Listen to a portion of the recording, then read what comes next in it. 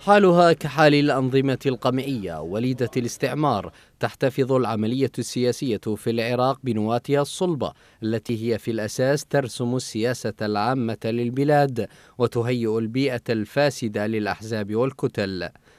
أما ما تسمى بالانتخابات التي تفرز الحكومة والبرلمان فكلها تدور حول الطبقة الطرية وتقتصر في التغيير عليها مع بقاء نواة النظام الصلبة تلك النواة تحددها الأحزاب النافذة الصدريون والمالكيون والولائيون وغيرهم وهؤلاء صراعهم يتمحور حول شكل العملية السياسية وليس جوهرها.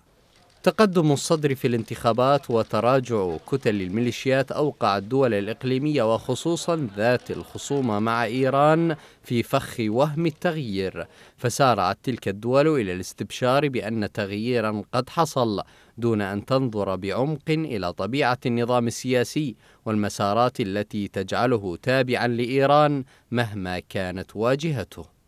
الصدر بشعاراته وخضاباته بإمكانه ابتزاز دول الإقليم والاستفادة منها بما يقوي العملية السياسية وبالتالي ترجع الفائدة لإيران الممسكة بخيوط اللعبة وراء مسرح الأحداث.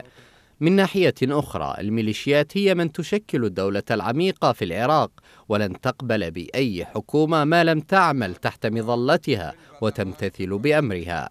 ولهذا السبب ستأتي الحكومة القادمة توافقية من حيث المناصب والحصص وإيرانية الهوى من حيث السياسة العامة وتوجهات الدولة.